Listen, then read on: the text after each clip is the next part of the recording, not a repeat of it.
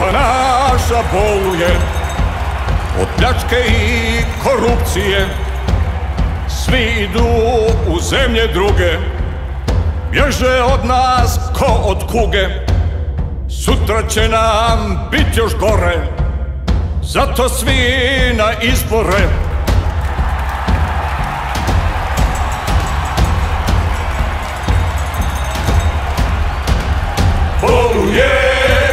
operácia, treba operácia, bolu je Kroácia.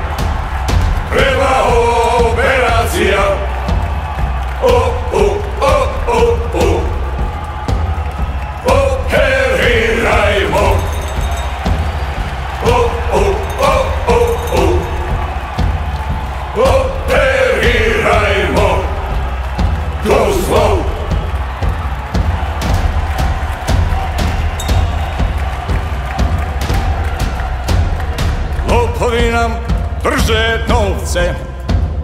Vukovi nam paze ovce. To su sada metastaze. Građanska nam prava gaze.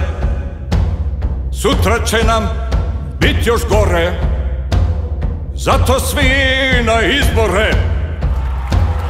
Boluje Kroacija Treba operacija Boluje Croația Prima operația Oh, oh, oh, oh, oh Operirajmo. Oh, oh, oh, oh, oh Operirajmo. Kroz zlo.